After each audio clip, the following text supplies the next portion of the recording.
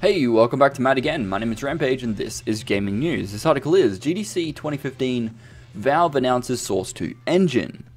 So, Valve unveiled Source 2, a more powerful engine for developers at GDC, which was on the 3rd of March. So, Source 2 is the successor to Valve's original Source engine, which has been used since the release of Counter-Strike Source in 2004.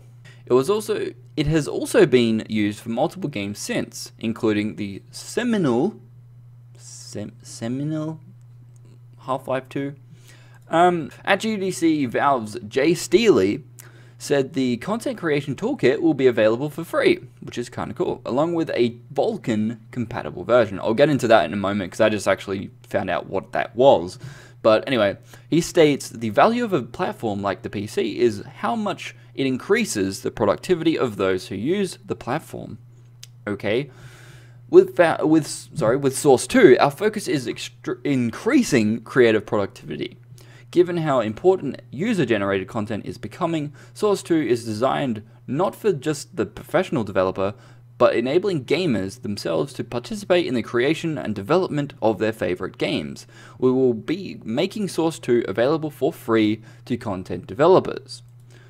Okay, that, that is actually kind of cool. I don't know whether the Source 2 engine itself is going to be... Uh, okay, so I'm just going to go into this other article by VG247.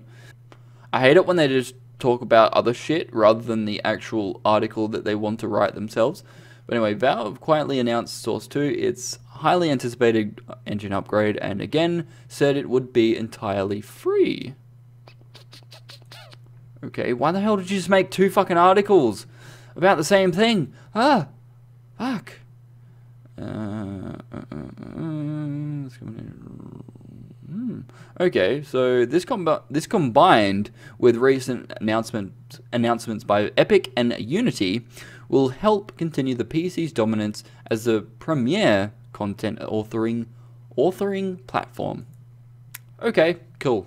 Um, but anyway, Vulkan, formerly known as Next Generation OpenGL, is a cross-platform, cross-vendor 3D graphics API that allows game developers to get the most out of the latest graphics hardware. This combined with recent announcements by Epic and Unity, blah blah blah, already said that.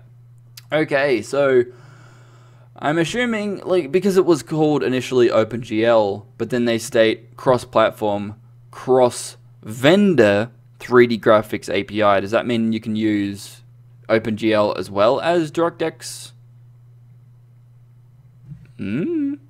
But uh, if somebody knows more about that, please, you know, put it in the comments below. But what do you think about it? Do you think do you, do you like Source Engine? Do you prefer Source Engine or anything like that? Like for me, I don't I don't know. Just something weird about it. I just don't really like Source Engine itself.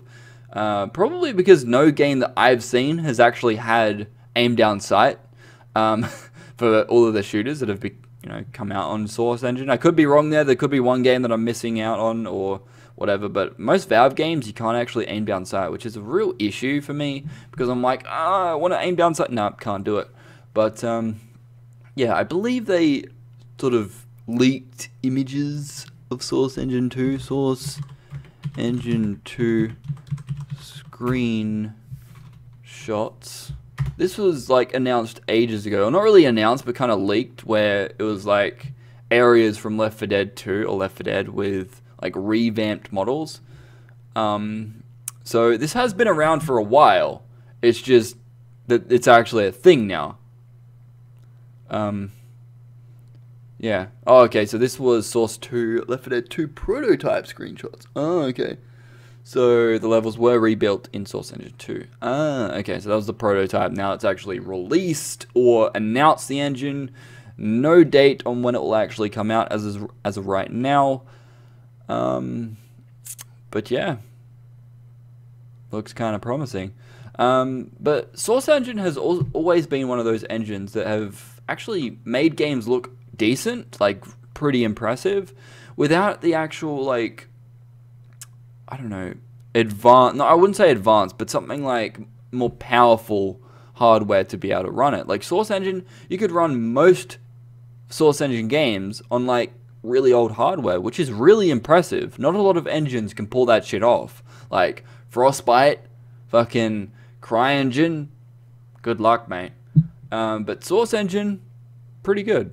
You know, so it's, yeah, I guess it's good in that in that sense. But I don't know. I just haven't really seen any games blow me away as much as Left 4 Dead 2 did. You know, um, Portal 2, fine as well, but I don't know. Give me an aim down sight game, God damn it. But anyway, hope you've enjoyed the video. Please don't forget to rate, comment, and subscribe. Leave your thoughts on what you think will come from Source Engine 2. Will we finally get Half-Life 3? Will I finally ever play Half-Life 1 and 2? Probably not. Um, I might play Half-Life 2 eventually, but I don't know, man. It's just weird. I know it's a really good game, but meh. I don't know. What do you think? Let me know. Peace out.